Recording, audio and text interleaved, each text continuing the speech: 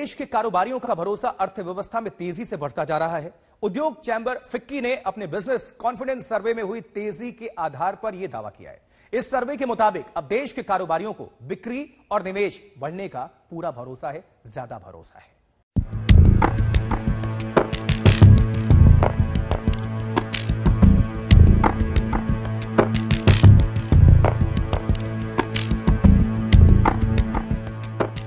Corona के मामले घटने और आर्थिक गतिविधियों में तेज़ी आने से देश के कारोबारी जगत का भरोसा बढ़ने लगा है।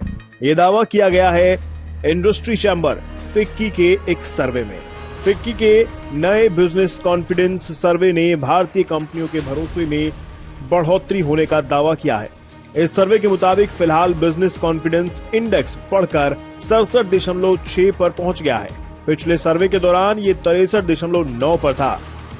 फिक्की के नए बिज़नेस कॉन्फिडेंस सर्वे में ये सुधार मौजूदा हालातों में हुए पॉजिटिव बदलावों और उम्मीदों के चलते आया है। फिक्की के इस बिज़नेस कॉन्फिडेंस सर्वे अप्रैल 2022 में कहा गया है कि कारोबारी जगत में बढ़ा हुआ भरोसा, बिक्री और निवेश में हुए इजाफे की वजह से आया है। रिपोर्ट के मुताबिक बासठ फ़ीसदी कारोबारियों ने कहा है कि वो आने वाले समय में बिक्री बढ़ने को लेकर भरोसेमंद है, जबकि पिछले सर्वे में केवल 50 फ़ीसदी कारोबारियों को बिक्री बढ़ने का यकीन था। दरअसल, किसी भी कारोबारी के भरोसे में बढ़ोतरी की बड़ी वजह डिमांड में इजाफा होता है। यही वो कारण है जो सर्वे में कारोबारियों के भरोसे में बढ़ोतरी का संकेत है। सर्वे के नतीजों के मुताबिक, डिमांड में सुधार देखा जा रहा है। और इस बार 46 फ़ीसदी कारोबारियों ने कम डिमांड को बिक्री में ब्रेकर बताया है। जबकि पिछले दौर के सर्वे में ऐसा कहने वाले लोग 60 फ़ीसदी और पिछले साल ऐसा कहने वाले लोग 70 फ़ीसदी थे।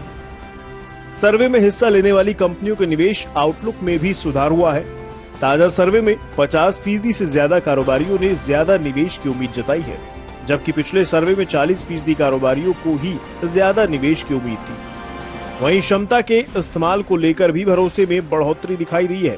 ताज़ा सर्वे में 45 फ़ीसदी से ज़्यादा कारोबारियों ने पिछहत्तर फ़ीसदी से ज़्यादा क्षमता इस्तेमाल की उम्मीद जताई है, जबकि पिछले सर्वे में 30 फ़ीसदी कारोबारियों को ही पिछहत्तर फ़ीसदी से ज़्यादा क्षमता इस्तेमाल की उम्मीद थी। हालाँकि रिपोर्ट में यह भी कहा गया है कि मौजूदा जियो टेंशन के बीच कच्चे माल की कीमतों में बढ़ोतरी, मुनाफे और निर्यात पर आने वाले दिनों में दबाव बना सकती है। फिक्की के इस सर्वे में एक करोड़ रुपए से ग्यारह हज़ार करोड़ के टर्नओवर वाली और अलग अलग सेक्टर्स की करीब एक सौ पैंसठ कंपनियों से प्रतिक्रियाएँ ली गई हैं। ब्यूरो रिपोर्ट, आज तक।